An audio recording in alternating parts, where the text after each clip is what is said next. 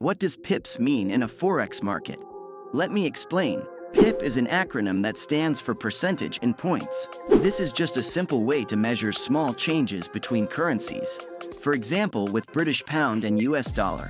If the price moves from 1.2084 to 1.2086, this is a move of 20 pips. You should be looking for the fourth digit after the decimal point for all the pairs, except Asian ones. A quick way to measure is if you hold shift and click. Join our Telegram group for daily Forex trading tips.